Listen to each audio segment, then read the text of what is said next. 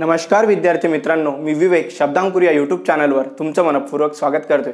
मित्रांनो राज्यातील विद्यापीठांनी काही विद्यापीठांनी ऑनलाईन तर काही विद्यापीठांनी ऑफलाईन परीक्षेसंदर्भात महत्त्वाची अपडेट दिलेली आहे. तर तीच आजच्या व्हिडिओमधून मी तुम्हाला सांगणार आहे आणि विशेष म्हणजे ऑनलाईन आणि ऑफलाईन परीक्षेसंदर्भात जे काही कन्फ्युजन तुमच्या मनामध्ये निर्माण झालेलं आहे त्यांचं सोल्युशनसुद्धा आजच्या व्हिडिओमधून आपण जाणून घेणार आहोत. तर विद्यार्थी मित्रांनो जरा व्हिडिओ आवडला तर नक्कीच लाईक करा आणि चॅनलला सबस्क्राईब करा. तर चला लगेच व्हिडिओला सुरुवात करूया.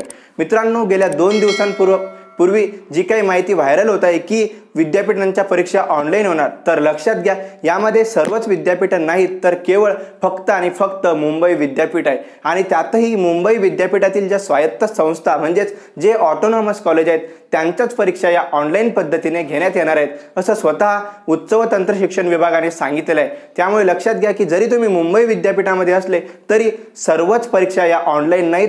फक्त आणि फक्त अंतिम वर्षाच्या आणि त्यातही फक्त स्वायत्त संस्थांच्याच ज्या परीक्षा आहेत त्या ऑनलाईन होणार आहेत. आणि अवांतर विद्यापीठं जे काही आहेत जसे की पुणे विद्यापीठ अमरावती विद्यापीठ नागपूर असेल नांदेड असेल औरंगाबाद असेल किंवा सर्वच जे अवांतर विद्यापीठ आहेत त्यांच्या परीक्षा या पूर्णपणे ऑफलाईन पद्धतीनेच होणार आहेत असं स्वतः त्या त्या विद्यापीठांच्या कुलगुरूंनी सांगितलेलं आहे. आणि काल मी स्वतःसुद्धा संत गाडगेबाबा अमरावती विद्यापीठाच्या सन्मान्य परीक्षा नियंत्रकांशी संपर्क केला तेव्हा त्यांनीसुद्धा असं सांगितलं की परीक्षा या ऑफलाईन पद्धतीनेच होणार आहेत.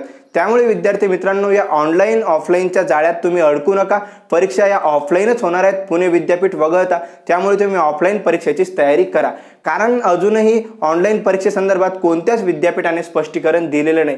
येत्या पुढील काळात काय होईल हे सांगता येत नाही. मात्र सध्या तरी ऑफलाईन परीक्षेचीच तयारी तुम्ही ठेवा. हेच तुम्हाला इथे महत्त्वाचं सांगायचं होतं. आणि एम एस बी टी जे आहे त्यांच्या ऑनलाईन परीक्षा होणार आहेत. मात्र त्यांच्या त्या परीक्षा अजून विंटर एक्झाम आहेत. त्यामुळे त्या जरी एप्रिल किंवा मेमध्ये असल्या तरी ऑनलाईन होतील. कारण जशा प्रकारे तुमच्या परीक्षा ऑनलाईन झाल्या विंटरच्या त्याच प्रकारे त्यांच्यासुद्धा विद्यापीठ ऑनलाईन घेणार आहे. त्यामुळे विद्यार्थी मित्रांनो याबाबत आता कन्फ्यूज होऊ नका आणि ऑफलाईनचा अभ्यास सुरू ठेवा. हेच या व्हिडिओमधून महत्त्वाचं मला सांगायचं होतं. आशा करतो हा व्हिडिओ तुम्हाला नक्कीच कळालेला असेल. तर या व्हिडिओला तुम्ही लाईक करा आणि चॅनलला सबस्क्राईब करा मनपूर्वक धन्यवाद.